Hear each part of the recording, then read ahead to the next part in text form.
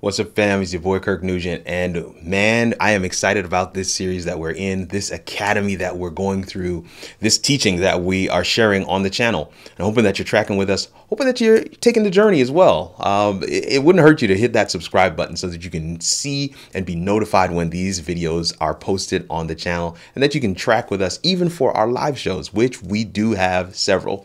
But in today's video, today's version of the academy, StreamYard Academy, that is, we're going to be looking looking at how to optimize your camera and stream quality. Let's get into it.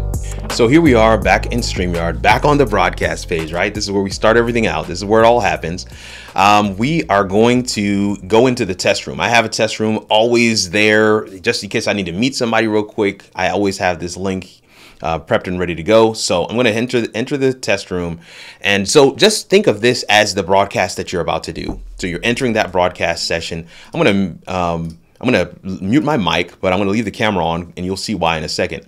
Before we even go into the studio, before we even go into the studio, I want to go to Cam Mic, and I want to see what camera am I using? So this is the place to do that. You want to be able to come here, hit this drop down list and what camera am I using? So here I'm using the Camlink and that's connected to my, my Sony a6000, which is what I'm using to record this video. So Camlink is here. That's the camera that I want. Boom. I'm already in the right place, in the right space.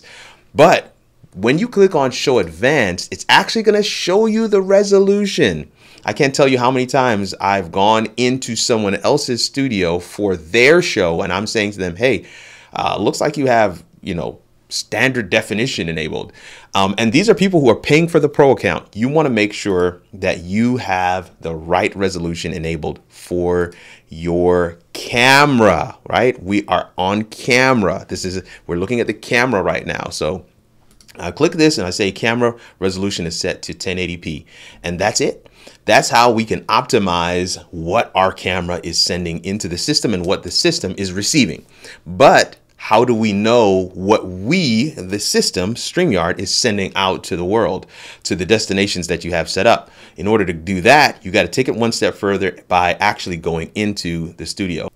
Uh, this is this is all the stuff that we had from the last session, uh, from the last Academy series, which was um, uh, how it all works, the live stream graphics academy. And so if you haven't checked those out, there are five videos that you need to go and check to be able to figure out how can I do all of this stuff in StreamYard.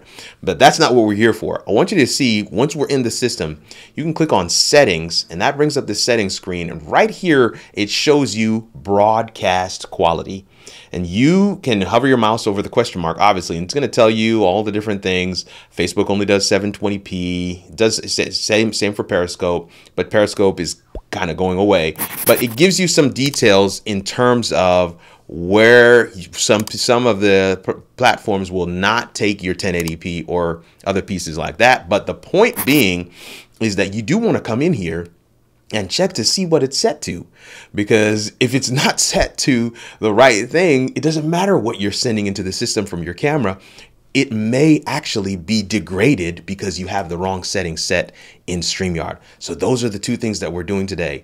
Optimizing your camera quality, optimizing your stream quality with these settings in StreamYard that's it. we was a quick one today.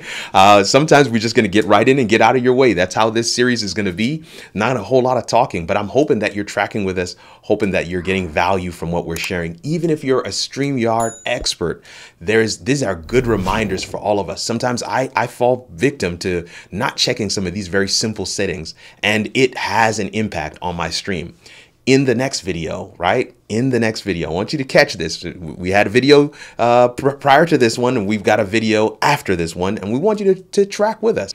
In the next video, we're going to be looking at optimizing your audio quality. What does my sound sound like? Uh, we're going to be walking through some of those pieces in that video, and we want you to be with us. So make sure you come back tomorrow for that video. It's your boy Kirk Nugent the Geek Speaker Preacher, hoping that somewhere today, as we looked at camera quality and stream quality, you were able to figure out how it all works. We'll see you in the next video.